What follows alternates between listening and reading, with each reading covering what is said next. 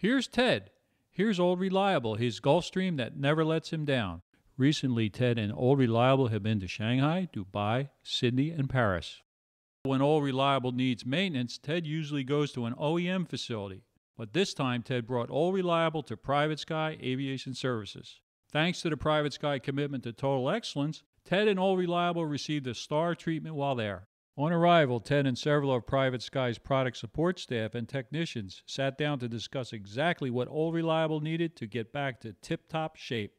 With hundreds of years of combined experience to draw from, these ladies and gentlemen knew exactly what to check for. Private Sky performed 72 month and 5,000 landing inspections, and they correctly diagnosed a pressurization problem and an avionics issue Old Reliable was having without throwing parts at the problem. Also, while Old Reliable was at Private Sky, Ted decided to upgrade the avionics plus refurbish the entire cabin.